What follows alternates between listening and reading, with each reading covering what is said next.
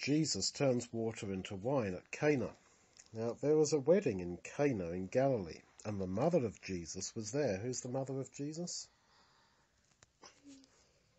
Mary. Mary. You both got there at the same time. That's right. And Jesus and his disciples were also invited to the wedding, and when they wanted wine, the mother of Jesus, who is Mary. Mary, said to Jesus, They haven't got any more wine. But Jesus told her, Woman, what have I got to do with you?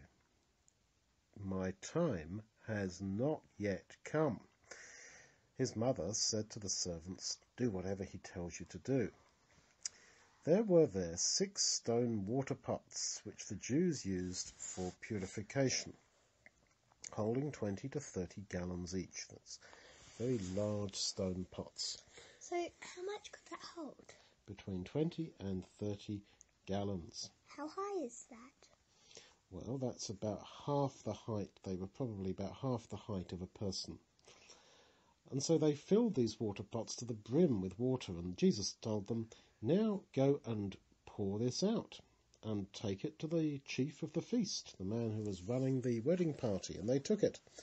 And when the master of the feast tasted the water that had been made into wine, not realizing where it had come from, although the servants who poured it out realized, the master of the feast called the bridegroom, that's the man who was getting married, and said to him, Usually men set out the good wine at the beginning of the feast, and when men have drunk well, then the wine that's not so good. But you have kept the good wine until now.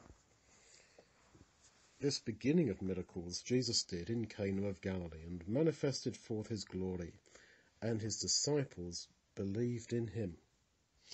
So it just shows how humble Jesus was. He didn't say, I'm going to do a great miracle, I'm going to solve your problems.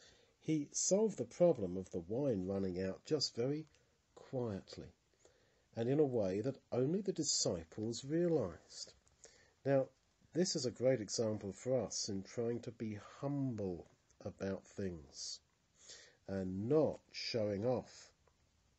And also realizing people's need that, oh dear, these poor people, their wine's run out. Well, he could have thought, well, you've had some wine, you don't need any more than that. But Jesus was sensitive to them in, in their situation where they were at the time. And what this shows is that Jesus can change the most ordinary things, that's water, into the most wonderful things. And of course the, the wine represents the blood of Jesus.